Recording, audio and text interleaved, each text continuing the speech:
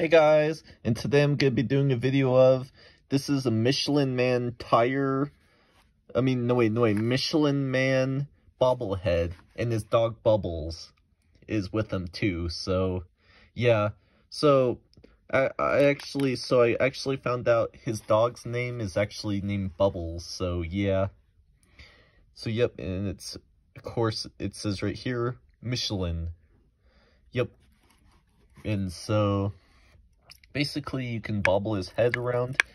And what's cool is that whenever you bobble his head around, the dog's tail also moves, I think. Yeah, see? There we go, it's bobbling.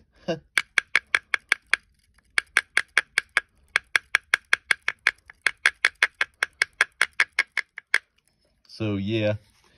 And these guys color on too.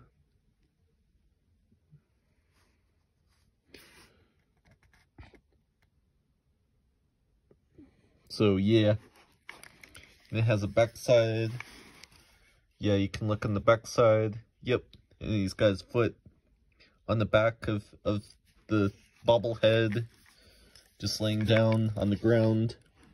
Whoa, gotta really be careful. So yeah, you can bobble, you can even bobble the dog's head, and even the dog's tail will still move too. Which is actually kind of cool.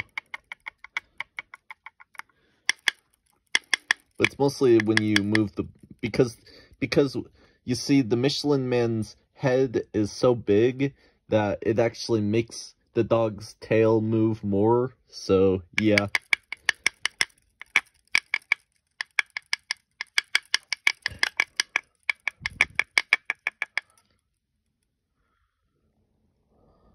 So yeah, it's a pretty cool bobblehead. It feels nice.